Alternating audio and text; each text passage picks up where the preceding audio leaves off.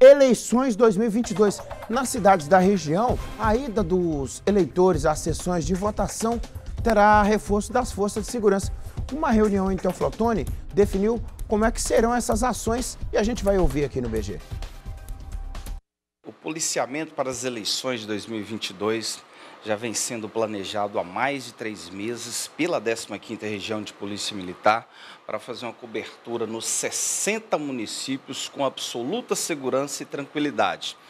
Todos os municípios dos vales do Jequitinhonha e Mucuri terão um oficial à frente que será o elo de ligação daquele município em termos de segurança pública com o juiz eleitoral daquele município todos os municípios estarão recebendo reforços no policiamento, tanto logísticos como reforços de inteligência e reforços também de pessoal, para que tenhamos eleições absolutamente tranquilas nos 60 municípios da 15ª Região de Polícia Militar.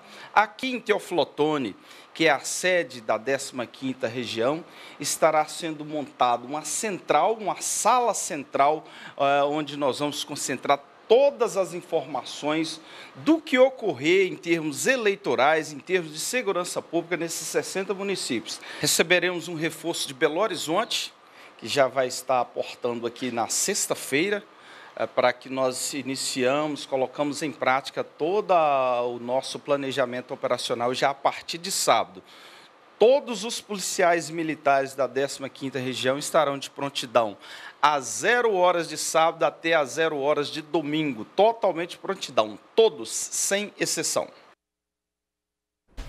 Aí a festa da democracia, né? E as, e as polícias guardando para que tudo seja feito com muita ordem, com muita paz, né, gente? Eu já vi uma postagem bonita, viu, Jairão? Falando sobre as pessoas entenderem o processo democrático sem precisar brigar com amigo, com colega de trabalho, com parente, né? É porque as coisas passam, né? É, só uma eleição.